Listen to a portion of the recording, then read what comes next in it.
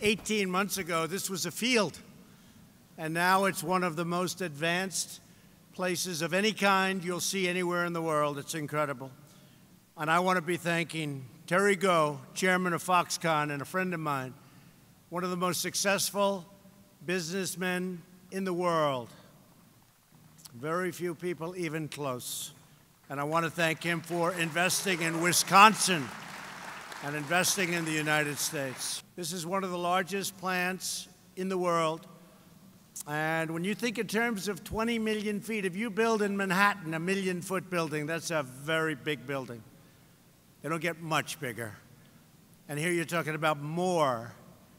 Think of it, more than 20 million feet. And that's probably going to be a minimal number. So I'm thrilled to be here in the Badger State with the hardworking men and women of Foxconn working with you.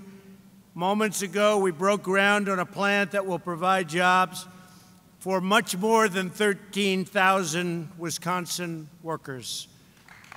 Really something.